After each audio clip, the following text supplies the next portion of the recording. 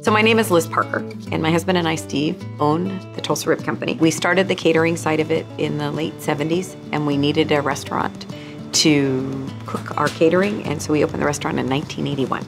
The decision was made to have California cuisine ribs, which are a little sweeter, the quality of the ribs are higher, and the ribs are cooked slower.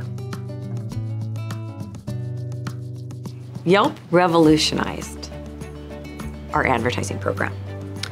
And let me explain, when you're in business as long as we have, the shift in where people see and view your business has been enormous. We started, it was pretty exclusive to newspapers, radio, and restaurant reviews. Suddenly this whole new media came out. People were very personal and they were online. So Yelp truly revolutionized how we now reach customers.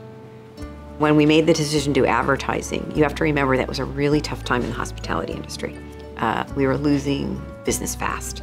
We, everybody felt like they were going off the cliff. Um, people who used to come in three times a week were coming in once a month. So we were in need of finding a new resource.